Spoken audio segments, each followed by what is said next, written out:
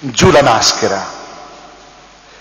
Gesù ci invita a toglierci l'ipocrisia.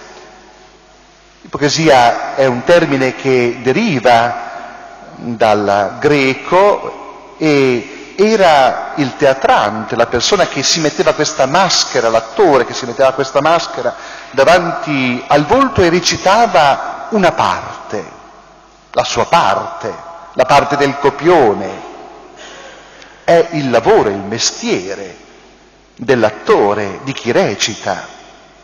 Noi non siamo persone che recitiamo una parte, noi siamo veri e dobbiamo essere sempre più persone vere. Non recitiamo la parte di chi ha fede, di chi crede, eh, non recitiamo la parte di chi eh, cerca di assumere un aspetto eh, particolare o si comporta in modo particolare perché certamente ha bisogno di dimostrare in chi crede o in chi spera. No, Gesù non ci sta. Gesù chiama questi atteggiamenti ipocrisia e ci vuol togliere dall'ipocrisia. Chi assume un atteggiamento ipocrito, cioè mettendosi davanti al volto o tutta la sua persona una maschera, riceve la sua ricompensa, i suoi applausi, eh, quelli, quello che lui cerca.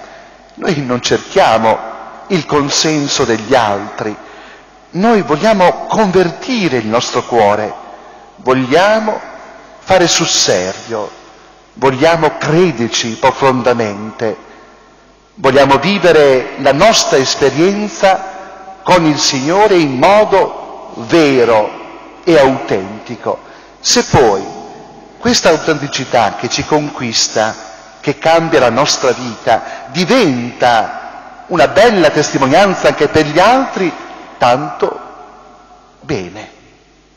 Però deve essere vera, prima per noi. Eh, Gesù passa dal plurale al singolare, se avete ascoltato nel Vangelo di Matteo, dice tu invece, tu, loro, eh, hanno già ricevuto la loro ricompensa, eh, sono arrivati già, possiamo dire, a quello che cercavano, al loro obiettivo. Tu invece, tu invece. Allora questo qui è il tempo di fare sul serio, è sempre tempo di fare sul serio, ma è un tempo di grazia, la Quaresima, per fare sul serio, per rivederci dentro, vedere il nostro rapporto con il Signore, con la fede, con gli altri, con la preghiera, con la carità.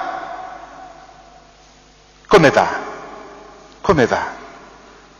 Come mi sento? Come sta andando? Dentro di me? Che cosa cerco?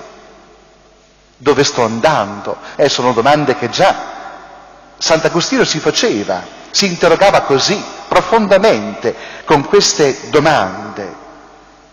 E questo è il tempo, il tempo dove noi siamo chiamati a rivedere la nostra vita e la nostra vita di fede. Ma per quale motivo? È questo percorso che noi iniziamo questa sera eh, ci porta al cuore della nostra fede che è la Pasqua. E noi siamo i discepoli del Signore risorto e vivo. Sarebbe triste, e lo è molte volte nella nostra vita, che noi ecco, non dimostriamo, o meglio, non si vede che siamo questi discepoli del Signore risorto, o meglio, per primi, eh, tornando a quello che è l'invito della parola che ci fa, per primi non avvertiamo questo, non sentiamo questo, eh? che il Signore è vivo. Ed è vivo nella mia vita, è vivo. E io sono il suo discepolo e sono il suo testimone e per questo allora che devo rivedere la mia vita, la mia fede, devo rivedere è come sto andando, dove ancora devo crescere, cosa devo togliere, cosa deve cambiare nella mia vita. Magari piccoli passi, però una Pasqua dopo l'altra, possiamo dire anche una Quaresima dopo l'altra, e ci aiuta. E qui allora abbiamo bisogno di intensificare la nostra preghiera. Non è tanto uno sforzo che noi facciamo, c'è anche questo, un impegno, eh, possiamo dire, però abbiamo bisogno di chiedere questa luce dal Signore che passa attraverso la preghiera, il pregare, l'entrare profondamente in intimità con il Signore, senza paura, senza timore, a tu per tu. Che bello. E Gesù ci stacca dagli altri anche qui e dice tu fai. E poi l'elemosina, la carità, l'attenzione all'altro, ai bisogni, alle necessità dell'altro. Le mie mani sono ancora chiuse, eh, sono mani che si tendono verso l'altro o rimangono inattive, chiuse, un cuore chiuso, uno sguardo cieco, miope, che fa fatica. È l'emosina. Dice l'Apostolo Giacomo che perdona una moltitudine di peccati. Quanto io e non riesco a donare. Il digiuno, il digiuno richiama la morte. Per vivere bisogna mangiare, eh, bisogna nutrirsi, ma in tutti gli aspetti, eh, non solo quello fisico. E invece Gesù ci invita a digiunare, a sentire dentro di noi anche il peso della morte.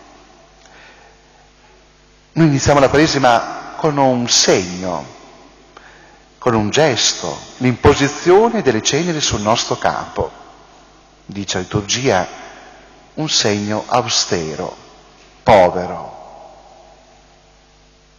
E si possono usare due formule.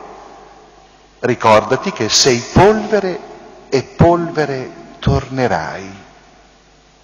Oppure convertiti e credi al Vangelo. Certo che le ceneri ci richiamano, possiamo dire, non solo la penitenza, ma quello che diventeremo anche polvere. E allora questo ci fa pensare eh, che la nostra vita a volte, a volte sembra che così ce l'abbiamo in mano e, e invece è molto fragile. Una vita, la nostra vita è sempre fragile e che la nostra vita ci porta ad incontrare il Signore. E allora, ecco, vogliamo, ecco, questo tempo anche riflettere su questo. Eh, possiamo dire che ecco, il digiuno ci richiama anche questo, eh, l'aspetto, per esempio, della nostra vita, l'aspetto della morte, come la morte di Gesù, eh, perché mediteremo in questo tempo di Quaresima anche questo, eh, per arrivare certo alla risurrezione, ma eh, il riprendere la vita piena nella risurrezione. Ecco allora anche la dimensione del digiuno diventa una dimensione importante. È vero che noi siamo i discepoli del Signore risorto, eh, e quindi possiamo dire siamo i discepoli dello sposo, non saremo chiamati a digiunare, però lo sposo in questo tempo è come se ci fosse tolto, è il famoso già non ancora. Eh? Sappiamo, ma ne avvertiamo anche la fatica oppure l'assenza, anche se c'è. E allora il digiuno ha anche questa dimensione. E così digiuna certamente per una crescita, non tanto per far soffrire eh, la nostra persona, ma perché c'è anche una crescita non possiamo aver tutto, non possiamo possedere tutto, anche se vorremmo aver tutto, e anche nelle rinunce c'è sempre una crescita. Ora possiamo dire che Gesù nel Vangelo ci dà tre percorsi importanti, certo che ce ne possono essere altri, ma questi vengono sottolineati dalla parola per camminare in questo tempo di Quaresima, per dare inizio eh, a un percorso nuovo nella nostra vita. Che Signore allora accompagni questi giorni attraverso la sua grazia e ci aiuti in, ecco, nel rinnovare in modo serio la nostra vita e la nostra vita di fede.